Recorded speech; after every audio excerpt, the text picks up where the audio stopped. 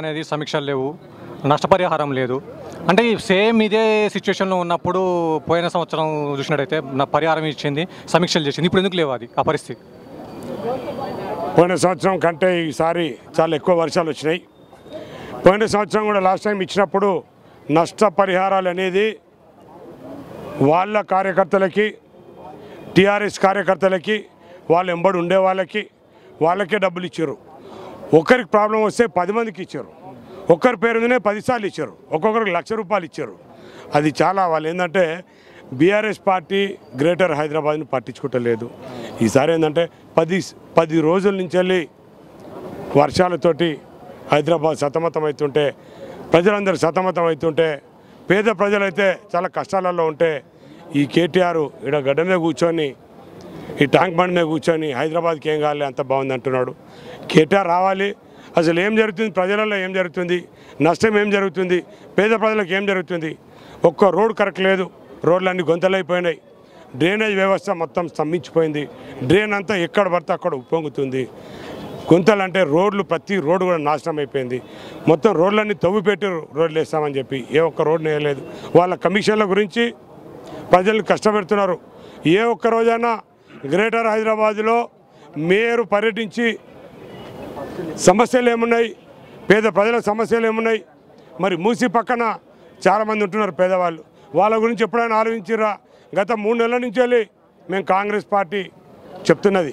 ఏంటంటే రాబోయే ఏవైతే వర్షాలు వస్తాయో ఆ వర్షాలలో ప్రజలకు కష్టమవుతుంది.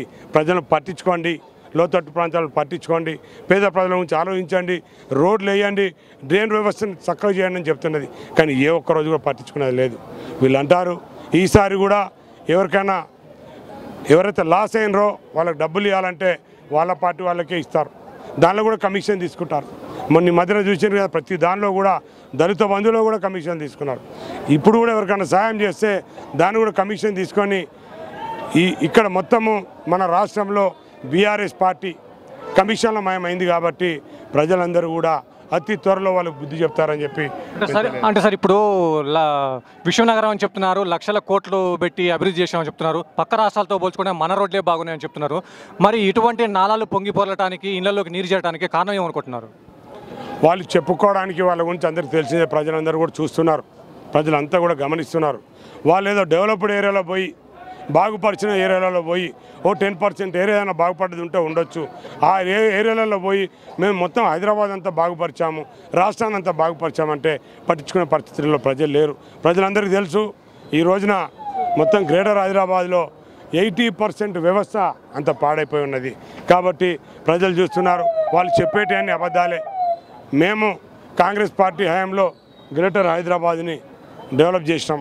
వీళ్ళు డెవలప్ చేసిన పరిస్థితి లేదు. డెవలప్ చేయరని కూడా మేము కాంగ్రెస్ పార్టీ నుంచి తెలియజేస్తున్నాం. నష్టపరిహారం లేకపోగా ప్రస్తుతం అసలు సమీక్ష ఎందుకు జరపట్లేదు?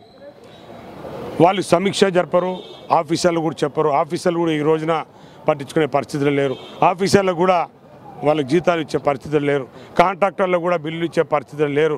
కాబట్టి వాళ్ళు చేతులు ఎత్తేసారు. ఎందుకంటే మూడు నెలల్లో ఎలక్షన్లు వస్తాయి కాబట్టి మూడు నెలలు టైం పాస్ చేస్తే దాని తర్వాత మళ్ళీ ఏదో కొత్త దాంతో వచ్చి పబ్లిక్ మోసం చేసి ఏదో ఓట్లు దండుకోవాలని చూస్తున్నారు. ఈసారి ఓట్లు వేయడానికి ప్రజలు ముందుకు రారు. గ్రేటర్ హైదరాబాద్లో మాత్రం ఎక్కడ కూడా పరిస్థితి లేదు. ఎందుకంటే హైదరాబాద్ను కమిషన్ల మైంతో నాశనం చేశారు కాబట్టి హైదరాబాద్ ప్రజలు అన్నీ చూస్తున్నారని చెప్పి తెలియజేస్తారు ఓకే సార్.